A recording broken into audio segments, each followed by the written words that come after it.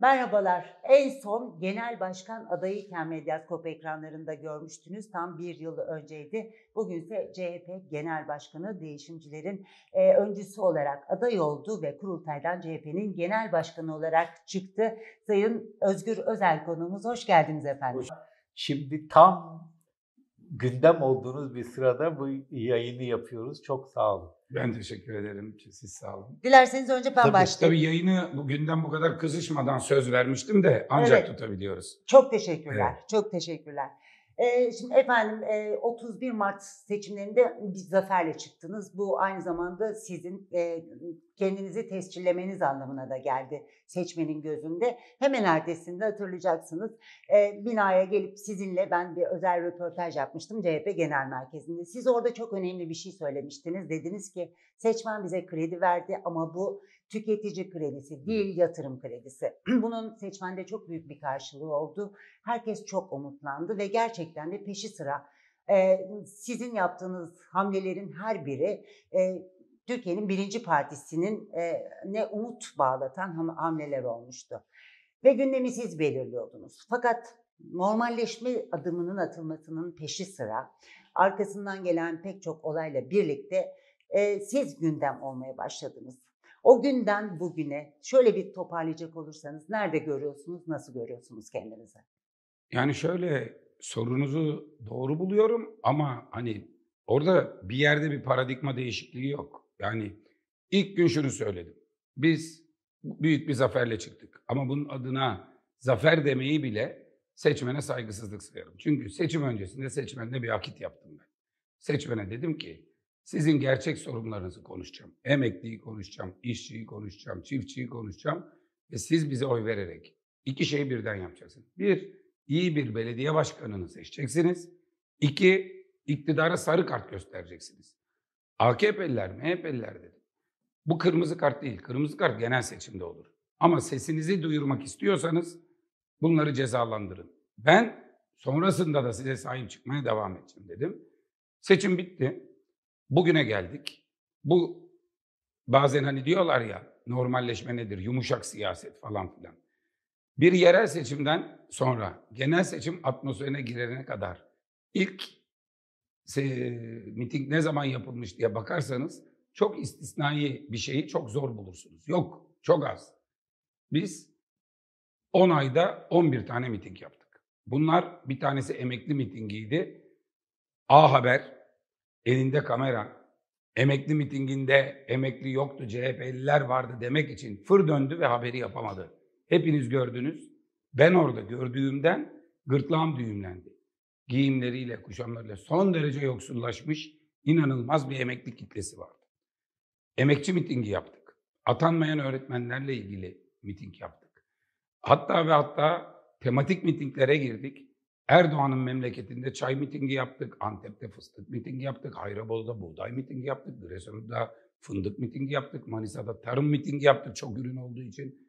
Yaptık da yaptık. Şu anda da işte sırada hayvancılık mitingi var, Antalya'nın hangi ilçesinde yapılsın. Her yerden bir talep geliyor. İktidara sözümüzü bir kelime eksik söylemedik. Eleştirmeden bıraktığımız bir alan yok. Ama bir şey yapmadık. O zaman da söylemiştim size. Adını biz normalleşme koyduk. Erdoğan bir ara yumuşama dedi. Şimdi terminoloji normalleşmede sabitlendi. O süreçte bitti galiba şu anda sanki. E, bence bitmedi. Yani insanlar normalleşme dediği meseleden sürekli bir görüşme. Böyle bir şey yok. Ben o zaman da söyledim. İhtiyaç halinde görüşebileceğini göstermektir liderlerin. Normalleşme birbirinin elini sıkabilme, hatırını sorabilme, bayramda iyi günde kötü günde arama, bir cenazesi olursa gitme ve taziye verme, bayramlaşma. Bu şu demek, lider kim olursa olsun onun partisinin üyelerine ve seçmenlerine duyduğunuz saygıdan dolayı o lideri muhatap alma. Ben bunu en çok eleştiri aldığım zaman da grup başkan vekiliyken meclisteki tüm partileri eşit tutarak ve deme de diğer partilerle aynı saygıyı gösterdiğim için Özgür Özel demleniyor, Özgür Özel PKK ile konuşuyor diyorlardı. En çok diyenler şimdi el sıkışmaya başladılar. Belki oraları konuşuruz. Ama ben 5 Kasım gününden sonra Ne Erdoğan'a, ne Bahçeli'ye, ne bir başkasına hiç hakaret etmedim. Ben öyle, ben öyle yaptığım için hiç de hakaret duymadım. Hiç hakaret davası açmadım. Erdoğan'a da bunu şöyle söyledim. Bugüne kadar hiç hakaret davası açmadık. Bence bundan sonra da açmayalım. Ama bunu bir saldırmazlık anlaşması gibi değil. Bir, bir siyasetin düzeyini belli bir noktada tutma talebi olarak söylüyorum dedim. Ben en sert muhalefeti yapacağım size dedim. Yapıyorum da ama hakaret etmiyorum, hakaret duymuyorum. Küfür etmiyorum, küfür duymuyorum. Ama en sert muhalefeti yapıyorum. Buna itirazınız varsa konuşuruz. Ve işe şuradan başladım. 1 Ocak günü bütün liderleri arayarak bir tek Erdoğan'ı aramamıştım. Orada da Erdoğan ben genel başkan seçince beni kutlamamıştı. Abdullah Güler aramıştı grup başkanları. Onu aradım. Ama birinci parti olduktan sonra birinci parti olma sorumluluğuyla iki bayramda da 18 lideri de aradım. Bunda da hiçbir mahsur görmedim. Erdoğan'la da görüştüm, Bahçeli'yle de görüştüm. Koltuk krizi yaşayınca telafi edeceksiniz dedim, tavır koydum. İadeyi ziyarete gelelim dediler. Olur mu? Olur ama benim düzenimde otururuz dedim. Benim düzenimde oturduk. Birileri konuşuyor. Üzerinde çok uzun konuşulabilir. Çok uzun konuşulabilir. Ama bir gerçek var. Mesela Cumhurbaşkanı girecek bayrak kanununa göre forslu bayrak çekilmesi lazım. Çekmesem bana kimse çektiremez. İsteyin gelsin dedim. Ne için dedim bunu? Bir de geri vermeyin dedim. İsterlerse bize çok lazım olacak dersiniz dedim. Cumhurbaşkanı forslu bayrağı aldık çektik. Bazı beni eleştiren arkadaşlar o bayrağa bakınca bir tek forsu gördüler. Cumhurbaşkanının arabası dönüp Cumhuriyet Halk Partisi'ne girerken bütün kanallar bila istisna bayrak çekilirken o görüntüyü çekti. CHP binasına bayrak çekilirken. Hani biz bayrağı indirecektik? Hani biz ülkeyi böldürecektik? Hani biz ezanı susturacaktık? Ben derdimi beni en zor anlayacakları anlatıyorum. En hızlı anlaması gerekenler bir yerlerde direniyor. Burada sözünüzü keseceğim. Kesin buyurun. Şimdi mesela e, çok eski arkadaşımdır. E, Abdülkadir bizim Selvi. iki gündür sizi övüyor, İmamoğlu'nu yeriyor. Şimdi başka örnekler de var. Şimdi Abdülkadir en popüler olduğu için söylüyorum.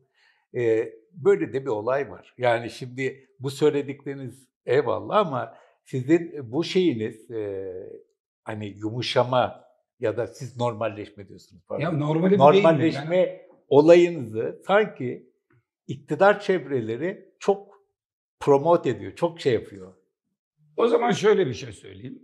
Şimdi tabii öyle bir şey var ki sizin hiç hoşlanmadığınız birisi birisini övüyorsa o övülen kişinin lehine değildir yani. Bunu kabul etmek lazım. Ama bu işin bunlar yan etkileri ve katlanmak durumundasınız. Şunu söylemek istiyorum. Bence normali liderlerin birbiriyle konuşabiliyor olmasıdır. Şimdi İsrail Türkiye'ye saldıracak dediğinde kapalı oturum talep ettim ve gelsin anlatsın dedim. Eğer lüzum görürsem gider görüşme talep ederim. Şu ana kadar ikinci bir görüşmeyi gerektirecek bir şey olmadı. Normalleşme bitti diyorlar, bitmedi. Ben gerekli görürsem gider Erdoğan'la bir daha konuşurum. Ben Erdoğan'dan 28 Şubat'ı istedim. 28 Şubat paşalarını istedim. Hallettiler. Ben de teşekkür telefonu açtım özel kalemine. Gezi ile ilgili çalışıyor arkadaşlar neler sonuç alamadık. Sonuç alırsak döner tekrar. Sonuç alabildiniz mi o görüşmelerde? Sonuç aldığımız nokta var, almadığımız nokta var. Ama şöyle bir gerçeklik var. Ben mesela yumuşak siyaset yapma karşılığı bir şey istesem çok sonuç alırım. Ama ben en sert siyaseti yapacağım ama sizinle de gerektiğinde görüşeceğim. Siz de gelirsiniz, ben de gelirim. Devlet Bey'e de gittim, DEM'e de gittim. Ve şu kadarını söyleyeyim. Ben o günden 1 Ekim'de Cumhurbaşkanı geldiğinde ayağa kalkacağımızı biliyordum ve bunun gerekli olduğunu düşünüyordum. Neden mi? Çok basit anlatayım. Ben siyasete belli yerlerden bakarım. Mesela Manisa'nın Hacaller Köyü'nden bakarım. Manisa Hacaller Köyü'nden birisine derdini anlatırken adam sana diyor ki ya kardeşim tamam konuşuyorsunuz da diyor. Hatta biz kahveye gelince çıkıyor bazıları orada diyelim. Bunu köy ismini örnek olarak söylüyorum. Kahveden çıkıyor. Ya amcam diyorsun. Nereye gidiyorsun deyince. Ya sen benim seçtiğim Cumhurbaşkanını tanımıyorsun daha. Ben seni niye tanıyayım diyor. Gidiyor. Ben Cumhurbaşkanının o halde referandumuna, o halde seçilmesine, Ve bu seferki adaylığına birçok yönden itirazım var ve bence ciddi bir meşruiyet sorunu var. Ama üçüncü kez bu meseleyle ilgili sandıktan çıkınca onun seçmeni onda bir sorun görmeyip sen onun karşısında ayağa kalkmayınca sende bir sorun görüyor kendisine dair. Şöyle olabilir mi? Çok özür dilerim sözünüzü kesmek istemem ama e, bu tek başına değil ama diğer şeylerle bir araya geldiğinde bir bütün olarak belki eleştirilerin hedefi haline getiriyor sizi. Türk evine Cumhurbaşkanı'ndan önce sahip çıkmanız gibi. E onu da orada daha mesela. henüz, henüz orada ne olduğu bile anlaşılmadan Yo, bir şöyle, rüşvet şöyle, şöyle söyleyeyim Yani. bakın çok net. Benim gitmem, Cumhurbaşkanı'nın bize iade ziyarete gelmesi, Devlet Bey'e gitmemiz, diğer partilere gitmemiz ve devam eden o süreç. Biz bir kez içe döndük. Ağustos ayında tüzük kurultuydu. Çok da iyi bir tüzük yaptık, mütabakatla geçti. Bizim açımızdan büyük bir başarı. 600-600 bölünmüş bir parti. Neredeyse 38'e karşı bin küsur oyla tüzüğünü geçirdi. 81 il başkanı kenetlendi, bizi destekledi. Ama biz içe döndük ya. Bir tek o ay anketlerde biraz düştük. Neden? İçe döndüğümüz için. Millet Cumhuriyet Halk Partisi'nin iç meseleleriyle meşgul değil ki. O istiyor ki, şunu istiyor. Cumhuriyet Halk Partisi onun sorunlarını konuşuyor olsun istiyor. Derdine önerilerde bulunuyor olsun istiyor ve bunu televizyonda izlemek istiyor. Siz sadece ve sadece AK Parti ile polemik yaparsanız o polemikteki en hırçın halleriniz ve karşının size verdiği en iyi cevaplar bütün iktidar medyasında hatta maalesef merkez medyada onlar yer alıyor. Ama siz polemik, kavga, hırçınlık yapmaz. Buğday derseniz, emekli ücreti derseniz, emekli maaşının aldığı dana kıymanın her ay ne kadar azaldığını söylerseniz veya seçim istiyoruz, geçim yoksa seçim var derseniz Cumhurbaşkanından didişmek yerine ekranlarda iyi kötü bu oluyor. Hele hele Cumhurbaşkanının ziyaret ettiği bir parti artık birçok eskiden bizi canlı vermeye korkan birçok televizyon bizi canlı veriyor. Ama orada şöyle bir şey var. Demin e, yayından önce Göksel'le de onu konuştuk. En son TRT'ye ne zaman çıktınız? TRT'ye ben en son darbeden sonra çıktım ve orada söyledim. Şu anda mesela TRT ki kamu şeyi ama iktidar kontrolü. TRT sizi çıkartmıyor. Ya da iktidar havuz medyası sizi çıkartmıyor. Farkı. Yani siz yine e, belli bir Yanlış medyada anlamayın öyle değil canım. TRT'ye ne zaman çıktım? 31 Mart akşamı birinci partinin genel başkanı olarak evet. konuştum. hayır şey anlamda şöyle bir yayına çıktınız. Öyle onlara bir sürpriz yapacağım deyip bunu yaptım ya sonra. Şöyle bir yayına çıktınız mı? Yani soru cevap yayını. Çıkmadık. çıkmadı mı? Yani şunu söylemeye çalışıyorum. İktidar yanlılarına seçmenine hitap ediyorsunuz. Tamam, hitap etmeye çalışıyorsunuz. Ama iktidar ve bence Cumhurbaşkanı kendisi sizin doğrudan iktidar yanlılarına seslenme araçlarınızın önünde tıkıyor. Bunda bir şüphe yok ki. İşte Ama ama, o zaman şu- şöyle bir şey oluyor pardon. O zaman siz bunları zaten muhalif olan ya da muhalefete yakın olan mecralarda söylediğiniz için oradakiler de diyor ki ya kardeşim bana bunu niye söylüyorsun? Ben zaten sana oy veriyorum diyor. Benim yaptığım işin zorluğu bu zaten.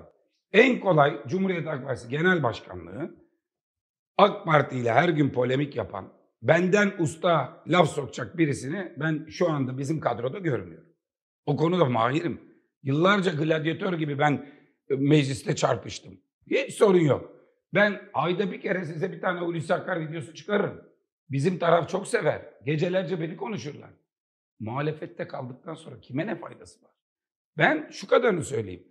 Ekrem İmamoğlu'nun birinci seçiminden sonra mazbatası iptal edildiğinde de TRT kanalıyla bana yapılan YSK kanalıyla Ekrem Bey'e yapılmıştı. Ne oldu sonra? TRT'ye de çıkarmadılar. Anadolu Ajansı da vermedi Ekrem Bey. Ne oldu? Millet haklıyı haksızı, iyi niyetli, kötü niyetliyi ayırdı ve bir karar verdi. Bugünlere o iptal kararının üzerine alınan 806 bin oyu alırken milletin bu haksızlıklara karşı çok demokratik bir duruşu bugünleri getirdi. Ben şimdi şu kadarını söyleyeyim size.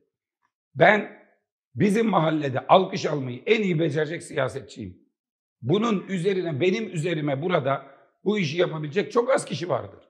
Ben bizim mahalleyi memnun ederim, mutlu ederim. Ama bizim mahalleyi iktidar etmem için benim bizim mahallenin bazı eleştirilerine rağmen iktidara gönül vermiş ama iktidardan artık yılmış insanlara sesimi duyurmam veya onlara benim bu ülkeye geldiğimde onları itmeden, kalkmadan, ötekileştirmeden hesap ol yani bireysel şeyden söylüyorum. Ee, tek bir e, seçmenden ona onun burnundan getirmeden CHP'liler kadar onun da çocuğunun geleceğinin garantisini sağlayarak, onu da zenginleştirerek, onun da yoksulluğuna çare bulacağıma, benim hakkaniyetli birisi olduğuma inanmaları lazım. CHP'deki elindeki baltayla her gün Erdoğan'la kavga eden Özgür Özel'in dönüşte kafasına onun da baltayı vuracağını sanıyor insanlar.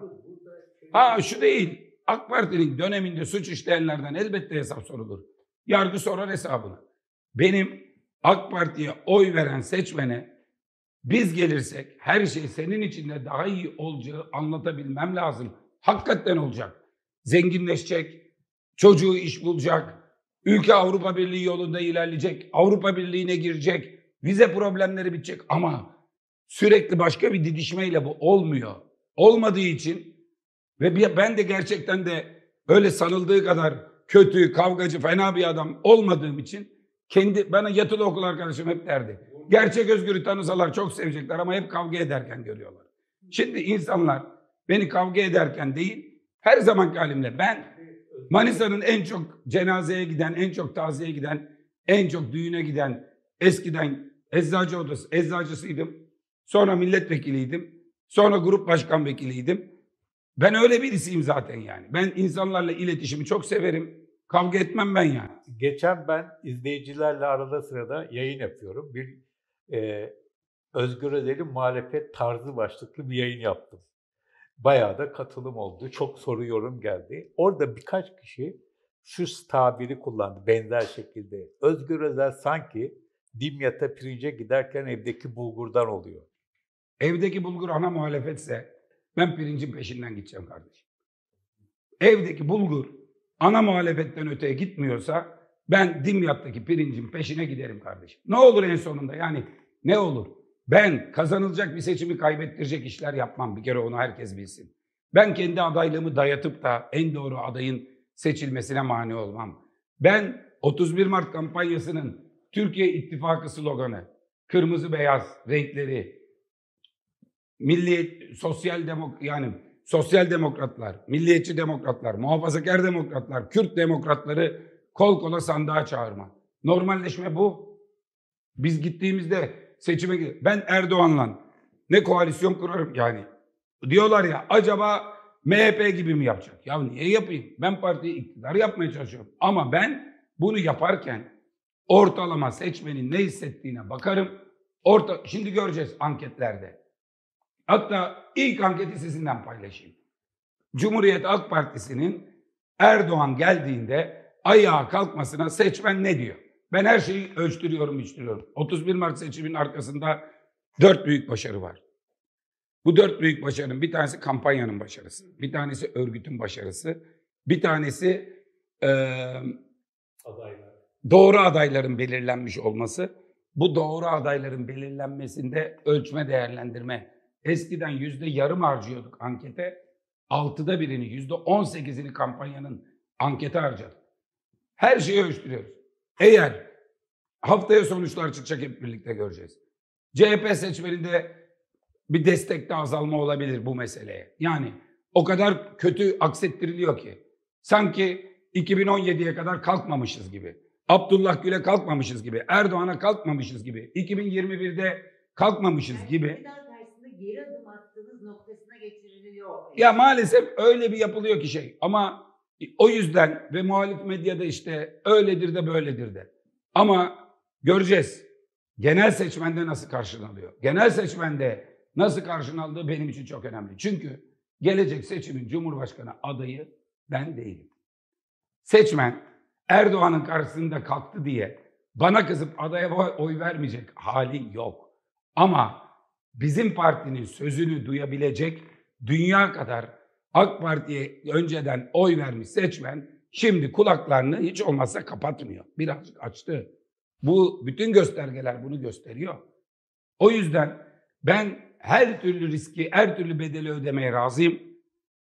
Bu muhalefetten kurtulmak için gerekirse kendimi feda edeceğim. Ama partiye bu seçimi kazandıracağım. Tam yeri Çok gelmişken şunu sor. İktidardan bu pardon ik- genellikle muhalefet liderleri e, bu iktidardan kurtulmak için diye cümle Ay, kurar. partinin muhalefette olması. Biliyorum anladım çok güzel. Çok yani şey yaptığım için diyorum. Yani bu Bu partiyi Muhalefete- muhalefetten kurtarmak için. Çünkü biz iktidar olmazsak ya dönüp baktığınızda yani bazıları işte bir tanesi çıkmış biz kimsenin karşısında ayağa kalkmıyoruz. Ya partinin oyu yüzde bir buçuk ve bizden giden tepki oylarıyla alıyorsun. Meclisteki her konuşmanı biz devrettik geçmişte sana. Ben ben devrettim, ben devrettim. Pardon bu aynı zamanda Kılıçdaroğlu'na verdiğiniz bir cevap mıdır? Hayır. Çünkü meclis... Ay yok onu Hayır. sorun onu Ha, cevaplayayım. o Onu sormak istiyorum yeri gelmişken. Yok ya işte Çünkü bir arkadaş dediniz ki meclis çatısı altında vermeyeyim o cevabı ama verilecek cevabım var dediniz. E, veririz. Biz Yani sadece halkın önünde ayağa sor- sorunca veririm de bu o değil yani. Peki. ben meclisteki şu anda Cumhuriyet Halk Partisi olmadan CHP başarmazsa bu işin başarılabileceğine inanan var mı? Benim bir tane derdim var. Bu iktidar değişmezse Türkiye'de artık bugün sabah işte kreş açılışı yaptık. Orada verdim. Üç çocuktan bir tanesi çocuk yoksulluğunun pençesinde. CHP iktidar olmazsa okulları da pislik götürüyor. Yoksulun çocuğuna okulda yok, yemek de yok, eğitim de yok, gelecek de yok. Türkiye'de gelir adaletsizliği, ben kimsenin çocuğunun yarışa geriden başlamayacağı bir ülke hayal ediyorum. Ben Türkiye'de milyarlarca dolar servetin kendi iki çocuğuna bırakılmasını ve o servetten yeterince herkesin yoksul çocuklar için vergi alınmamasına da itiraz ediyorum. Ben bir kişinin bu kadar çok servet kümelemesi yapmasına da itiraz ediyorum. Ben asgari ücretin veren için çok fazla, alan için çok düşük bu tuhaf düzene itiraz ediyorum.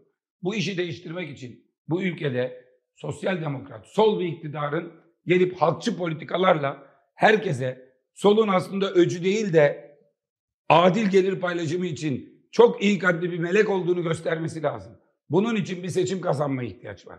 Bunun için eski inatları terk etmeden başaramayız.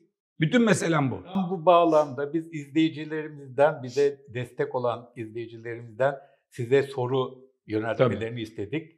Mehmet Tolgay Çırakoğlu'nun tam bu söylediğiniz bağlamda çok bence çok iyi bir şeyi var. Diyor ki e, seçmeni gözünde canlanıp canlandırıp heyecanlanacağı Türkiye vizyonu nedir diyor ve devam ediyor. Bu vizyonlarda bu vizyonda 1930'larda Atatürk ile 1970'lerde Ecevit'in söylediklerinden yeni ne var? Çok doğru bir şey söylüyor. Tam bunun için ilk kez 6 gün kurultay yaptık. 6 gün. İlk günü Sivas'ta sembolikti. İkinci günü tüzüğün hazırlık günüydü komisyonun. Üçüncü günü tam bir mütabakatla partiyi nasıl yöneteceğimize karar verdik. Normalde orada güle oynaya dağılıp zaferimi ilan etmem lazım. Ben dedim ki işin kolay kısmı bitti. Zor kısmı. Program kurultayının ilk iki günü. Sosyalist Enternasyonel'den 24 ülkeden birer kişinin de geldiği, bütün delegelerin 29 yuvarlak masada oturduğu, böldüğümüz, bu ülkeyi nasıl yöneteceğiz, insanlara bu soruya ne cevap vereceğiz çalıştığımız iki gün çalıştık. Şimdi 81 il 973 ilçede halk buluşmaları, örgüt buluşmaları, karma buluşmalar, meslek örgütleriyle yapılacak görüşmelerle CHP önce kendini gidip talep toplayacak. Ey fıstık üreticisi, ne olursa bana oy vereceksin, ne istiyorsun? Ey çay üreticisi, derdin tasan ne, senin için ne söyleyeyim? Bir bütün halinde tarımda destekleme sistemi nasıl olmalı? Dünyaya bir bakın, bunu başaran ülkeler. Türkiye'de etin sütün ithal gelmemesi için kendine yeten bir tarım, e, hayvancılık, kendine yatan bir tarım politikası için makron edeceğiz. Kalkınmada bizim ekibe bakın. Mesela benim MHK masamda kim oturuyor? Volkan Demir. MHK üyesi olduğu güne kadar Galatasaray Üniversitesi İktisadi İdare Bilimler Fakültesi dekanı. Türkiye'nin en iyi maliyecilerinden mesleğe girme sınavını mali müşavirlerden yapan hoca. Profesör geldi masada oturuyor. Yanında Yalçın Karatepe. Mülkiye'nin efsane makroekonomist hocası, iktisat hocası oturuyor. Selin Sayıkbeke, Arjantin meselesi yani Arjantin'de tanıyorlar kriz çözümlemesi, ekonomik krizden çıkış için benim masamda oturuyor. Bu arkadaşlar makroekonomistlerle tartışabilecekleri en iyi vizyonu hızla hazırlayacaklar. Hazırlıyorlardı zaten. Şimdi onu TÜSİAD'ından da işçi sendikasından da ekonomi hocalarıyla da dünyadaki ekonomi yöneticileriyle de gidip çalışacaklar. 6 ay sonra benim o sırada boş değil tabii her adımında iletişimini yapacağız. Yani soruyu soran arkadaş benim sahada bunu aradığımı ve bunu konuştuğumu da görüyor olacak 6 ay boyunca. 6 ay boyunca CHP'nin tüm yöneticileri, tüm milletvekilleri, akademisyenler 973 ilçede sorunları bildiklerini söyleyecekler. İlavesi varsa kaydedecekler. Çözüm için ne bekleniyor? Bu CHP'ye hangi şartta oy verirsin sorusunu da arayarak partinin yepyeni, kolay okunabilir, daha kısa ve gelecekteki hemen arkasından CHP'nin tutum belgelerinin, politika belgelerinin ve propaganda evrak ve söylemlerinin üretileceği programını yapıyoruz. İlk günden bunu vaat etmiştim. Planladığım şekilde de nokta nokta gidiyoruz. Ben dedim 4-9 Eylül arası bunu yapacağız. Son 3 günü bu olacak diye. Ve şunu şundan emin olun. Bugün biraz önce e, Çekmeköy'de bir konuşma yaptım. Belki hani imkan olur bakılır. Ekonomi ile ilgili hazırlıkların Çekmeköy'de anlatılması gereken kısımlarını anlattım. Satın alma gücüyle, çocuklarla yoksulluğun yönetilmeyip nasıl yok edileceğini anlattım. Ve çok olumlu reaksiyon. Ben bunları tabii birer pilot konuşma olarak görüyorum. 973 ilçeden gelecek bildirimler Avrupa'dan aldıklarımızla birlikte ortaya koyacağımız vizyon tam da aradığı şey. Ama mesela ben kendisine şunu söyleyeyim. Ecevit geldiğinde sendika kanununu söylüyordu mesela. Ecevit geldiğinde emekliliği söylüyordu. Ecevit geldiğinde sosyal adaleti söylüyordu. Toprak reformu söylüyordu. Yapamadı ama söylüyordu. Ecevit geldiğinde ortaya koyduğu bir vizyon vardı. Biz bundan sonraki süreç için Türkiye'nin birinci hedefini Avrupa Birliği'ne tam üyelik koyuyoruz. Onun içinde teker teker sayıp da milletin bıktığı kuvvetler ayrılığı, hukukun üstünlüğü hepsi çok önemli. Hepsi çok önemli. Zenginliği ve kalkınmayı getirecek olan bunlar. Ama bunları konuşarak değil, halkın anlayacağı dilden ekonomi konuşarak ve hedef koyarak. Bir kere söyledim yer yerinden oynadı. Alım gücü 10 kat artacak diyorum. Onlar 6-0 attılar paradan diyorum. Ama gelirden de attılar, giderden de. 6-6 berabere. Ben 1-0 olacak, bizim olacak diyorum. Ve sadece fiyatlardan birer sıfır atacağız diyorum. Diyorum ki 800 liralık pirzola 80 lira olmasın mı? Alkışlıyorlar. Benim bulunduğum ortamda insanlar konuştu siz bunu söylerken. Devamında da şunu söyledim. Nasıl diyorlar? Nasıl dedikleri nasıl? Büyümeyle nasıl olacağını anlatıyoruz. Hayır, yani 6 ay sonra siz bu sözü... 6 ay sonra olmayacak Hayır, bu. hayır, 10 altı yıl sonra olacak Yok, yok. Ama Pardon, artan sorum- bir trendle. Sorum o değil. 6 ay sonra siz bu çalışmanızı tamamladığınızda bu sorunun cevabı da gelecek mi herkesin önüne? elbette gelecek. Biz bir kalkınma tarif ediyoruz. Milli gelirin artacağı, işte 50 bin dolarlara çıkacağı, satın alma gücünün gıdada 10 kat artacağı bir zenginleşmeyi topluma yaymaktan bahsediyoruz. Ve diyoruz ki elindeki maaşın aynı maaş olacak ama işte 550-600 lira olan dana kıyma 60 lira olacak. İşte tavuk kanat 33 lira olacak. Bilmem ne bu olacak. Orada bir de rakı 1400 değil 140 lira olacak dedim. Sadece rakıyı konuştular günlerce. Ama hiç olmazsa e, tabii bir de şöyle bir şey var. Hırs alır gibi, öc alır gibi vergi konulan rakıdan da normal devlet gibi vergi alacağız. Ayrıca yani onu da söyleyeyim. Ben ama paranın satın alma gücünü söylüyorum. Ve bu meseleye inandıracağız insanları. Şu var, bakın büyük sorun şu. İnanan inansın, inanmayan seçmene sorsun, seçmen onu inandırsın. Tayyip Bey kimse görmeden seçmenin kulağına şunu fısıldıyor. Evet biliyorum, açsın, yoksulsun, işsizsin ama tehlike büyük, oyu bir kez daha bana vermelisin. Yoksa vatanı böldürecekler. Yoksa bayrağı indirecekler. Yoksa ezanı dindirecekler. Bunlar terörist. Ya biz buna teslim olur seçim kaybettik arkadaş. Hadi bakalım. Şimdi demiyorlar mı insanlar konuşurken? Ya bunlar bayrağı indirecekti ama CHP binasına bay, Cumhurbaşkanı Forslu bayrak çektiler. E madem öyle demezler mi? Niye elini sıktın? Niye konuştun? normalleşmenin bizden başka Türkiye'de çok faydası var ama en çok şeytanlaştırılanlara faydası var. En çok ötekileştirilenlere faydası var. Benim anlatmaya çalıştığım mevzunun özü bu. Yoksa Tayyip Bey orada otururken ben son 6 senedir oturdum orada. Kalkmadım. Ama kimse bana gelip madalya takmadı. Ayağa kalktım. Bundan da madalya takmadılar. Ama o ayağa kalkmayı herkes gitsin. Bugüne kadar hiç CHP'ye oy vermemiş AK Partili ve MHP'li seçmen ne diyor diye bir sorsun. Hatta CHP'liye de sorsun. Manipüle edilmemiş ve böyle televizyon kanallarındaki haksız hakarete varan saçma sapan Tayyip Bey'in önünde el pençe divan durdular bilmem ne falan. Alkışlamayacağız dedim. Alkışlan. Giderken de tarafsız bir cumhurbaşkanı gibi konuşmadığı için bir de gelip de el sıkışmadığı için kalkmadım giderken ayağa. Bir daha geldiğinde bir daha kalkacağım. Eğer bir daha geldiğinde bir daha kalkacağım, bir daha kalkacağız. Ben seçmene senin kararına saygılıyım ama ülkeyi ben daha iyi yönetirim. Şimdi konuyu Biz değiştirelim. daha iyi Ya değiştirmeyelim demek. Kılıçdaroğlu'nu soralım Sorun. burada. Burada Kılıçdaroğlu'nu soralım çünkü Kılıçdaroğlu'nun söylediği biz yalnızca halk için ayağa kalkarız sözü size Türkiye Büyük Millet Meclisi çatısı altında sorulduğunda dediniz ki bunun yeri burası değil. Ama söyleyeceklerim var. Söyleyeyim. Şöyle Kemal Bey saymış kimler için ayağa kalkacağımızı. Ben onların hepsi için miting yapmışım yerel seçimden beri. Eskiden bize diyorlardı ki meclisten çıkın hey veya ben de tweet atarım sen bir şey yap.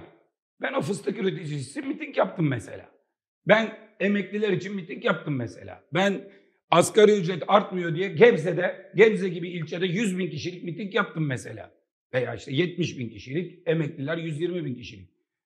Ben Kemal Bey kimler için ayağa kalkacağını söylüyorsa ben onlar için ayağa kalktım. İlave de söyleyeyim yani.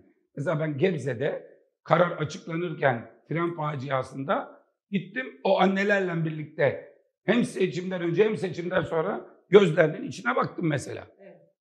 Yani e, kimin mücadelesini yalnız bırakmışız da oturmuşuz onlar verken. Ben onlar için ayaktayım.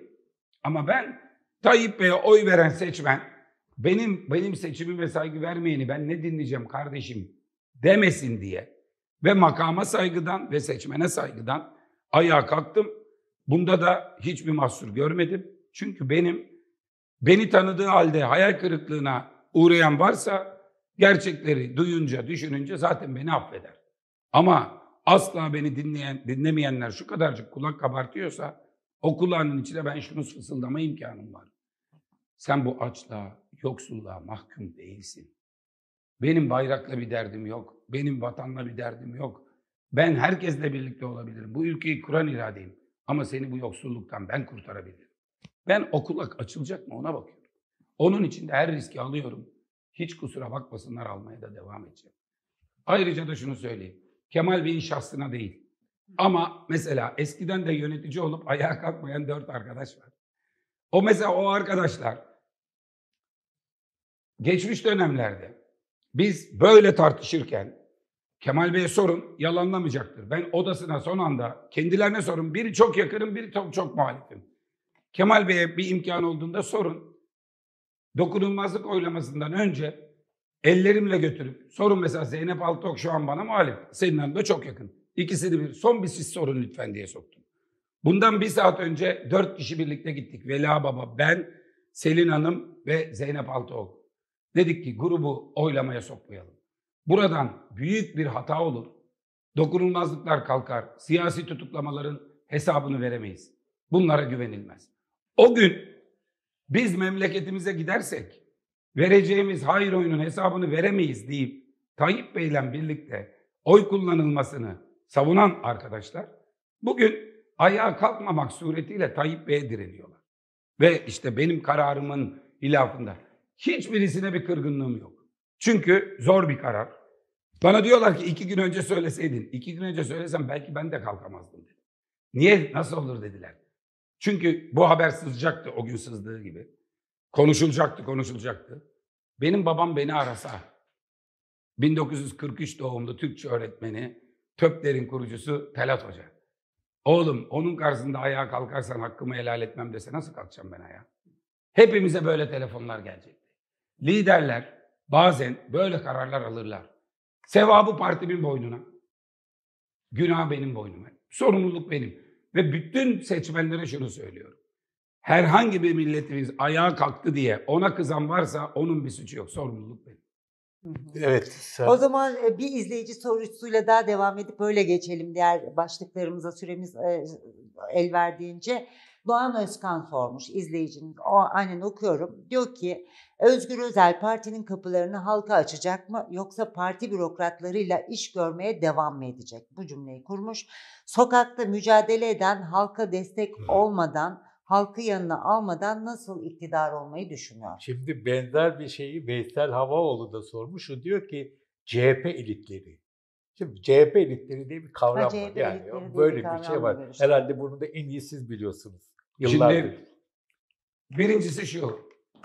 Tam dediğini kurultayda ben söyledim. Yani YouTube'dan baksın Cumhuriyet Halk Partisi kurultayı Özgür Özel konuşmasında herhalde 70. dakika falandı.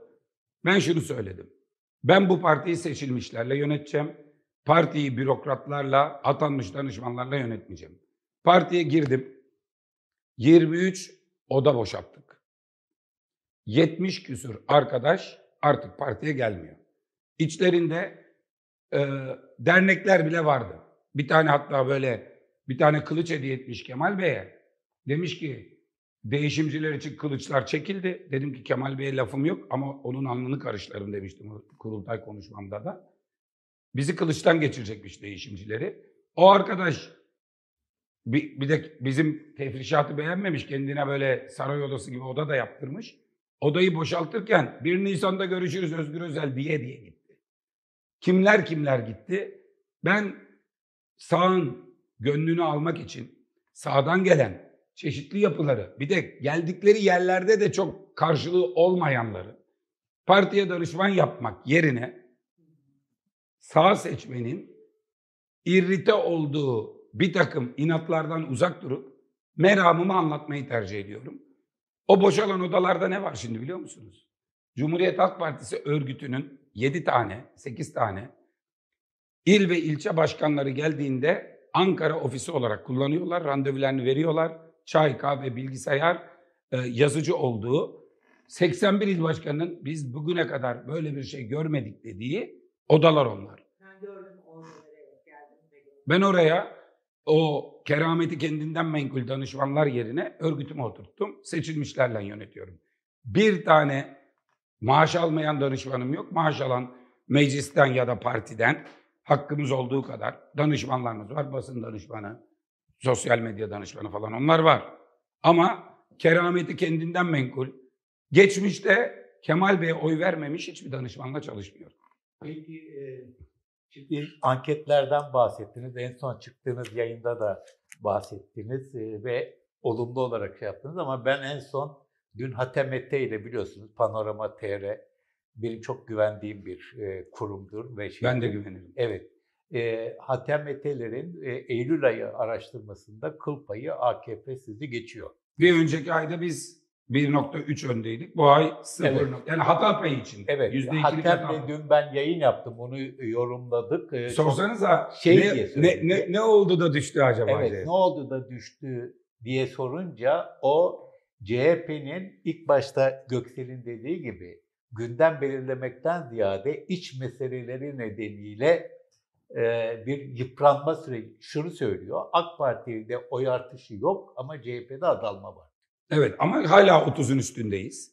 Hala AK Parti Şeyleri ile dağıtmadan onlar bu sefer kararsızları dağıtmamışlar. Kararsızları dağıtırlarsa 33-34 üzerinde oluyor.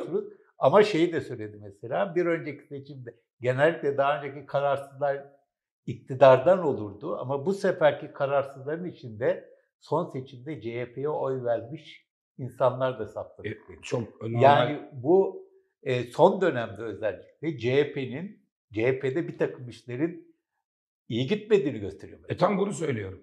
Yani son dönem dediği, onun ölçüm yaptığı tarih aralığı bizim kurultayla uğraştığımız ve kurultayı yeni bitirdiğimiz, kurultaydan önce de bir ay boyunca birbirimizle meşgul olduğumuz aralık. Bu normalleşmede işte 1 Ekim dozu falan diyorlar.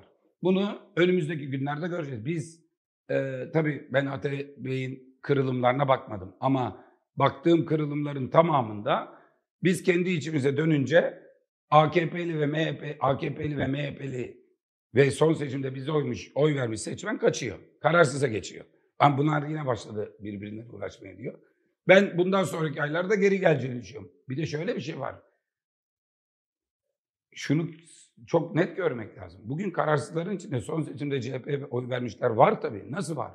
Onlar bir önceki seçimde AK Parti'ye oy verdi. Biz bu seçimde onlardan biraz önce söylediğim şekilde oy aldık. Şimdi o insanlar bize bakıyorlar. Normalde bizim parti oyumuz 5 parti birden 25 iken 38'e çıktı. Bu 38'in bizde kalmasını kim bekleyebilir? Elbette düşecekti. Marifet 25'e düşmesin. Eski kodlarına dönersen 25'e düşersin. Doğru bir siyaset yaparsak tutabildiğimizi tutarız. Biz şu anda 22 yıl boyunca ilk kez 31 Mart gecesi ve anketlerde ilk kez 31 Mart'tan sonra AKP'yi geçtik. HTMT'de yani Panorama TR'de bu ay, geçen ayda e, şeyde vardı, e, Metropol'de vardı, Özer Beylerinkinde vardı. Bu ay o Metropol'de yükselmişiz. Panoramada bir tık düşmüşüz. Metropol'de kafa kafaya gelmişiz. Onlar 2 puan düşmüş, biz 2 puan çıkmışız falan. Ama panorama Ağustos çalışmadı. Eylül'de, Eylül ortasında Ağustos'tan Eylül ortasına kadar olanı yaptılar. Ben de takip ettim. Tam bunu söylüyorum. Kendi içimize dönersek AKP ve MHP'den bize gelen seçmen kararsıza geçiyor. Biz Türkiye meselelerini konuşur ve doğru bilgi tutturursak bize geliyorlar. Bu kadar net. Ve Ekrem İmamoğlu'nu sormazsam olmaz. Tabii. Şimdi e, bir cumhurbaşkanı e, adaylığı konusunu e, ayrıca sormak lazım elbette ama diğer yandan bunu biz deprem bilimci olarak şöyle tanımlayayım. Önümüzde bir karar var, süreç geliyor, istinaf mahkemesi. Depremde biliyorsunuz şöyledir. Deprem öncesi, deprem anı ve deprem sonrası üzerinden yapılır bütün stratejik planlar. Şimdi Ekrem İmamoğlu'nun e, istinaf mahkemesinden çıkacak olan karar öncesi karar çıktığı ve sonrasına dair CHP'nin nasıl bir stratejik planı var? Bu konuda CHP ne, ne yapacak? Konusu çok önemli. Şimdi e, olası bir krizden sonrasına hazırlanan stratejik plan hazırdır, bir yerde durur. O ilan edilmez. Onu, onu benden istemeyin. Ama hazırız. İki, normalleşmemesi lazım bunun. Bakın ben bunu bizim toplantılarda da söyledim. Sanki bu kararın ilan edilmesi normalmiş, beklenen bir şeymiş, edilebilirmiş gibi yapmamak için o gün hazır mısınızı çok konuşmamak lazım. Ama eğer ki böyle bir onama kararı çıkarsa yapacağımız her şey, atacağımız her adımı hem uzman yani MYK'dan ve e, İstanbul Büyükşehir'den, İstanbul İl Başkanlığı'ndan arkadaşların bir araya geldiği bir uzmanlık heyeti, 2-3 toplantı uzun uzun çalıştılar. Bu toplantıların birine Ekrem Bey de katıldı, birine ikimiz birden katıldık. Ee, o basına da yansımadı. İlk kez siz de söylemiştiniz. Peki Emirgan'daki Beyaz Köşk'tekini biliyoruz Takip galiba. eden pazar Ankara'da bir araya geldik. Ekrem Bey de katıldı, biz de katıldık. Üzerine gayet güzel bir şekilde de çalıştık. O konuda hazırız. Ama orada istinaf kararı ile ilgili şöyle bir şey. Onu da geçen gün birileri yalan yanlış yine şey yapmış. Bir tek orayı. Benim tahminim istinafta bunu onayabilirler. Yargıtay sürecini uzatabilirler ve hep bizi şu tartışmada tutmak isteyecekler. Ekrem İmamoğlu siyasi yasak alacak mı? Alırsa aday olamayacak kim olacak? O mu olacak bu mu olacak? Bu tartışmanın bir satın alanının bizim örgütümüzde olmaması lazım. Sözüme değer veren herkese diyorum ki bir, bu istinaf kararı çıkmamalıdır. Çıkarsa burunlarından getirmeliyiz. Çok ciddi bir mücadele vermeliyiz. Ama lütfen aday kim tartışmaları yerine Ekrem İmamoğlu'nun nasıl iyi belediye başkanlığı yaptığını görüp görünür kılıp anlatmalıyız. Milletin gönlünde orada yükseldikten sonra adaylaşma süreci kolay. Bu adı geçen diğer adaylar için de böyle. Adayım demekle milletin gönlüne giremez. İşini yapıp, güzel şeyler yapıp, insanların tercih ettiği birisi olduğunda aday olabilirsin. Ben kimsenin adaylığına partinin genel başkanı olarak çelme takmayacağım. Ama şöyle bir şeyi de görüyorum, şöyle bir şeyi. İktidar medyası CHP'de aday tartışmasını erken başlatmayı çok istiyor ve buna maalesef alet olan, buna hizmet eden yaklaşımlar var. gerçekten samimilerse, bu iktidardan kurtulmak istiyorlarsa bizi buraya çekmek yerine bizim adaylarımız, ismi geçen adayları işlerini yapmaları noktasında onları rahat bırakmalarını isterim. Şimdi Özgür Bey, e, çok sayıda yani hakikaten çok sayıda kişiden kimisi izleyici, kimisi okur, kimisi yakın çevremden yemin billah ediyorlar ki Özgür Özel Erdoğan'la parlamenter seçime geçmek için anlaştı. Erdoğan Cumhurbaşkanı olacak, Özgür Özel de başbakan olmaya hesabı yapıyor. Şimdi böyle bir anlaşma Çünkü o konuş iki kere bir araya geldiniz. böyle bir anlaşmam olmadığı gibi kamuya açık tüm alanlarda, sorularda cevaplıyorum, tekrar cevaplayayım. Ben mevcut anayasaya uymayan biriyle anayasa değiştirmem. İçeride Gezi davası duruyorken, Avrupa Anayasa Mahkemesi'nin kararlarına uyulmuyorken, ahim kararlarına uyulmuyorken, anayasa özenle sürekli çiğneniyorken bir kere anayasa masasına oturmayacağım ki. Oturmayacağım. O yüzden böyle bir risk yok. Kimse şey yapmasın. Kayıt altında söylüyoruz. İkincisi, parlamenter sisteme gitme konusunda anlaştığım kişilerin arasında Erdoğan yok. Cumhuriyet Halk Partililer var. Bunu vatandaşlara da önereceğiz. Partimizin e, yönetim sistem önerisi güçlü bir parlamento. Bunu bir geçiş dönemi sonunda geçeceğiz ve o süreçte bunu yapmak için bizim Erdoğan'a değil, gelecek seçimlerde milletimizin desteğine ihtiyacımız var. Erdoğan'la niye anlaşayım? Ben Erdoğan iktidarını sonlandırmak istiyorum. Erdoğan'la niye anlaşayım?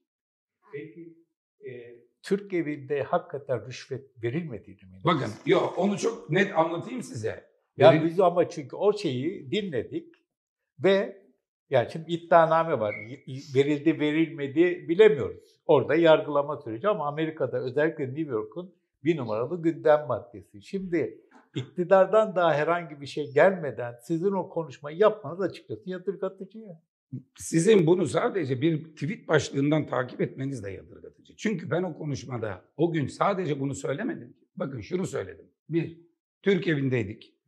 Büyükelçiliğimiz, pardon Büyükelçimiz, daimi temsilci, başkonsolos, Kıbrıs Cumhurbaşkanı ile ve gazetecilerle sohbet ettik. Çıkışta da kapının önünde. Türk evi yazan bir yerde olsun istedim. Yoksa Büyükelçi dedi ki Ahmet Bey, istediğiniz herhangi bir yerde yapın dedi. Dedim ki ya burada değil, böyle bir Türk evi yazsın. Görünsün dedim. Kapının önünde bu açıklamayı yaptık. Ben oradan çıktığımda daha o iddianame ortaya yeni çıkıyordu. Daha hiç okunmamıştı. Yanımda büyükelçimiz var. Yani iki adım arkada arkadaşlarım var. Bana soruyorlar. Ben dedim ki Türkiye rüşvet verecek bir ülke değil. Kaldı ki bu adamlara öyle bir jest yapıldı ki Amerika'ya, Ankara'da. Bunun için burada para vermeye falan gerek yok. Daha büyük jest yapıldı. Ancak eğer bir rüşvet alan varsa Amerika çok güçlü bir hukuk devleti. Yargıdan kaçamaz. Videoyu açacağım. Lütfen onu şey yapın. Ee, var aslında da Twitter hesabında duruyor. Türkiye çok güçlü bir, Amerika çok güçlü bir hukuk devleti. Yargıdan kimse kaçamaz. Bu konuda herkesin güveni tam. Rüşvet alındıysa ortaya çıkar cezasını çeker. Eğer birisi Türkiye adına rüşvet verdiyse yanlış yapmıştır. O da cezasını çekmelidir. Türkiye'yi de rezil etmiştir. Bu ertesi gün Sözcü'de 3. sayfada sayfa manşeti. Türkiye'yi rezil etmiştir rüşveti veren. Ama ilk cümle Türkiye rüşvet verecek bir ülke değil. İşte şimdi adlarını söylemeyeyim. Hani böyle bir Twitter üzerinden haber şeyleri var ya. Bir tek bunu veriyor. İkinci el piyasada bu öyle bir köpürüyor. 3 4 ya Özgür Özel bunu nerede dedi diye kimse dönüp bakmıyor. Ben bunu bu cümleleri, bu cümleleri Amerika'da Amerika'dan ayrılmadan uçağa binmeden önce rüşvet iddianamesi çıktığını öğrendiğim anda Anka Haber Ajansı'na yaptığım canlı verdiler. Twitter hesabımda duruyor. Ve herkes göğe ana muhalefeti takip ediyor. XXX Haber diye bir haber sitesi Özgür Özel Türkiye rüşvet verecek ülke değil diyor. Sonra XX adlı muhalif arkadaş YouTube kanalına çıkıyor. Yazıklar olsun Erdoğan'dan önce savunmak sana mı düşer diyor. Ya savunmak ne? Verdiyse rezil etmiştir. Yapan cezasını çeksin. Belediye başkanı da çekecektir. Ama onlara yapılan jest bundan fazla diyorum. Kişiler gider bina kalır. Bir de ben kendi binamı tartışmaya açma meselesini daha iddianameyi görmeden Amerikan basını soruyor pat diye. Türkiye rüşvet verecek bir ülke değil. Veren yaptıysa yanlış vermiştir. Lafından yargılayan da yargılasın arkadaş. Şimdi birçok izleyicimizin CHP'ye oy verdiğini söyleyen birçok izleyicimizin genel ruh hali şu. Ee, 31 Mart'ta beklemedikleri kadar büyük bir başarı elde etti CHP ve bunda açıkçası Kemal Kılıçdaroğlu'nun genel başkan olmaması ve genç, dinamik bir isim olarak sizin olmanızın çok etkili olduğunu söylüyorlar. Ve bir anlamda 31 Mart'tan sonra sizi keşfetmeye, yani sizi daha önceden grup başkan fikri falan olarak biliyorlardı ama bir lider olarak keşfetmeye ve benimsemeye başlıyorlar. Ama daha sonra o kadar çok CHP kendi içinde meseleler, mesela televizyonların birçoğunda bugün biliyorsunuz tartışma programı denen şeylerde sadece CHP konuşuyor.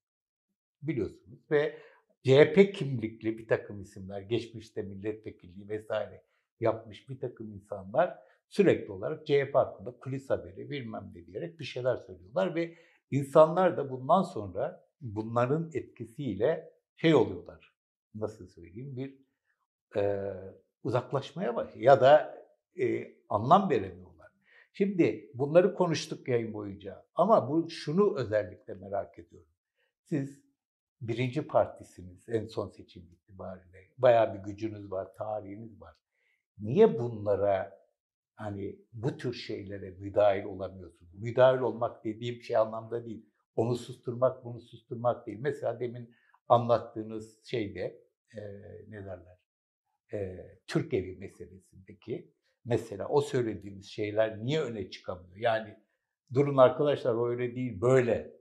O aslında böyle değil, şöyle. iyi e, egemen kılmada, kamuoyu oluşturmada bir anlamda, PR yapmada, CHP'yi pazarlamada değil. Niye e, iktidar sizden önce Şöyle iktidarın çok büyük bir gücü var, çok büyük parası var. Bu devirde bir haberin yayılması organik yollara bırakılırsa eğer karşı taraf bunda ciddi bir bütçe ayırdıysa o böyle amip gibi çoğalıyor. Sizin haberiniz ise böyle yavaş yavaş ilerliyor falan. Böyle güçlükler var. Ayrıca Cumhuriyet Halk Partisi'nin e, kazanamamak, hep kaybetmek üzerine e, seçmeniyle arasında kuramadığı bir güven ilişkisi var. Bir güvensizlik ilişkisi var. Yani e, seçmeni, hani üyelerde daha az, seçmende daha çok, yöneticilerde biraz daha az. Ama şöyle bir şey var. Yani yine kaybedeceğiz. Yine yanlış yapacaklar. Şimdi yerel seçimlerde ben bu başarı beklenenin üstünde diyor. Sizin yayınınızda da söylemişim bir kesitini izledim. Sonra İsmail Küçükkaya çok çok yapıyor. Diyorum ki Bursa'yı alacağız, Balıkesir'i alacağız, Manisa'yı alacağız, Denizli'yi alacağız, Afyon'u, Uşak'ı alacağız. Onu bırakın Kütahya'da sürpriz yapıp alacağız diyorum. Bakın Ege'de bilmediğim il yok. Dönüyorum diyorum ki Kastamonu'yu alacağız, Kırıkkale'yi alacağız. Hepsini söylüyorum. Söyleyip de kilise alacağız. Kiliste sürpriz potansiyeli var demiş. Çünkü ölçme değerlendirme diye bir şey var. Ama inandıramadık insanları. Ve belki inansalar da daha iyi olacaktı. Yani en az şey. O yüzden bir de geçmişte sürekli yapılmış hatalar ve benim bir dezavantajım. Ben çok açık bir insanım. Ben her soruya cevap veririm. Ben e, iki şey yapmam. Kin tutmam ve bir şeyi gizli tutmam. Bu tabii ki görevim gereğince gizli tutmak gereken şeyler ayrı. Ama siyasette böyle aslında birine bir düşmanlık yapacaksam, bir kötülük yapacaksam, öyle bir hırsım, kinim varsa onu ilk kendisi bilir. Ben seni aday yapmayacağım arkadaşlarım. Başkaları öyle yapmaz. Günü gelince yaparlar. Ben bir şey yapıyorsam bir karar... Söylediğinizi çok iyi biliyorum. Eski CHP döneminde zamana bırakılmış intikamlar çok yaşandı. Ben hiç yapmadım. Mesela ve kesinlikle ve kesinlikle de şöyle bir şey var. Eğer bir şey yapıyorsam doğru olduğunu bildiğim için yaparım. Bir şeyim var annem der o çok inattır çok der. Bir şeye inanırsam ondan vazgeçmem. Doğru olduğunu inanırsam. Ama bir şeyin yanlış olduğunu düşünüyorsam asla onu tekrar etmem. Arkadaşlarımın uyarılarını da dinlerim. Ama çok temel bir şeyde ilerliyorum ben. İlerlediğim mesela yani bu partide liderin bir yerde kullanacağı bir inisiyatif varsa o da kendi kitlemizi memnun edeceğiz diye toplumun yüzde 60'ının, 70'inin bize kulak tıkadığı yüksek sesli ve hırçınca bir muhalif siyasetin sonuç getirmediğine inandığım, gördüğüm için. Bunun için de kimseyi zora sokmadan ne adayları ne başkalarını riski kendi üzerime alarak, sorumluluğu kendi üzerime alarak ilerliyorum. Mesela geçen gün Melike Demirağ, çok kıymetli birisi benim için.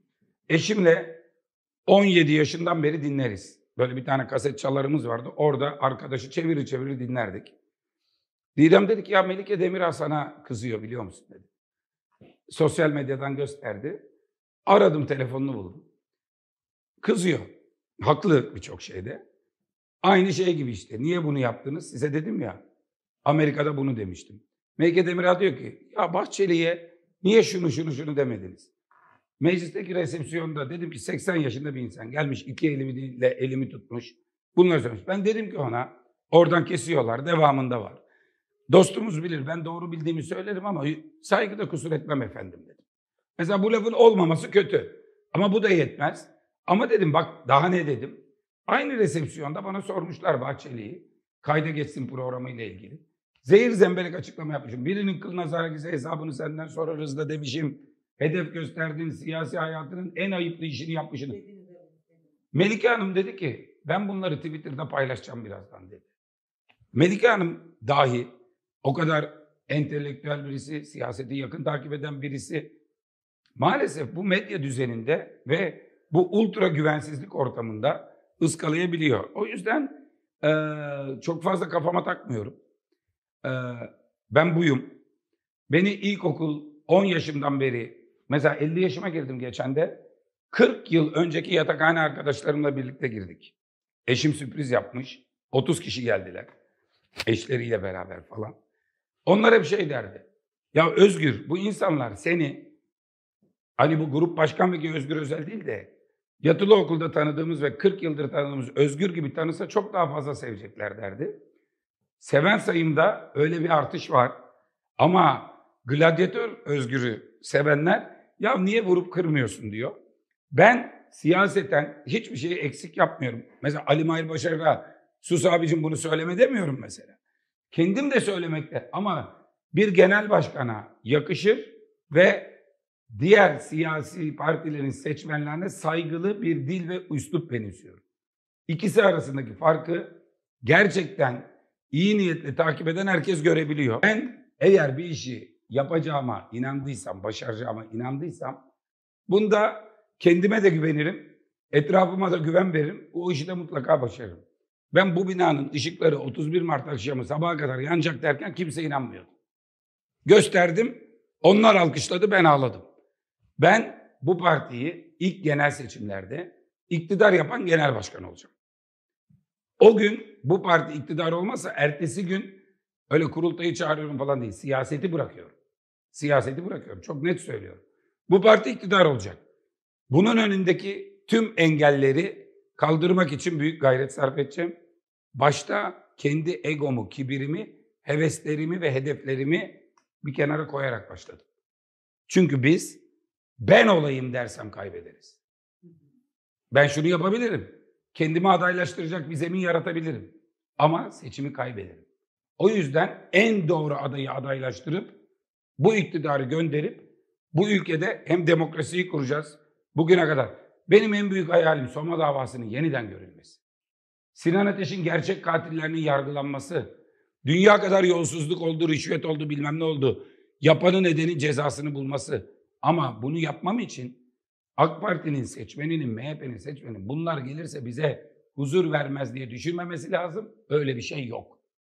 Sadece ve sadece suç işleyenler cezasını çekecek. Ben Soma davasını yeniden açtıramazsam siyasete hedefime ulaşamamışım demek. Ve erken seçim konusunda da ısrarlısınız. Son 6 ay kala e, erken seçim derse Kabul etmeyiz diye söyledim. Yani onu da Erdoğan bakın bundan sonra bize aday kim diye soruyorlar ya. AK Parti'nin adayı kim diye soracağım. Çünkü AK Parti'nin adayı kim? AK Parti'nin adayı Erdoğan'sa erken seçim lazım. Yani bizim de oy vermemiz lazım. Ben sadece bir sene boyunca buna izin veririm. Gelsin yarışalım. Bir sene geçti. Erdoğan aday olacak. Gelin anayasa değişikliği yapalım. Yok kabul etmiyorum oturmayacağım o masaya. Hiçbir şey. Bana böyle altın tepside iktidar vaat etseler Erdoğan eliyle ben o anayasayı Erdoğan için değiştirmem. Eğer Erdoğan aday olacaksa bir sene sonra olsun. Yok son 6 ayda geleceğim aday olacağım. Erken, 6 ay daha dişimi sıkarım aday olamazsın. Hesabını ona göre yapsın. Bu kadar net. Bu kadar. Ben bunu da boşu boşuna söylemiyorum. Tam 5 yılın ortasındaki 2,5 yılda söylüyorum. Zaten tartışmalı bir dönemdesin. 2,5 ben koydum, 2,5 da sen koy. Kendine güveniyorsan gel seçim. Şu anda Erdoğan'ın bize karşı seçim kazanabilecek bir durumu yok. Bence bundan sonra da olmayacak. Ama bunun için bir tek şeye ihtiyaç var. Özgüvene, özgüvene, özgüvene.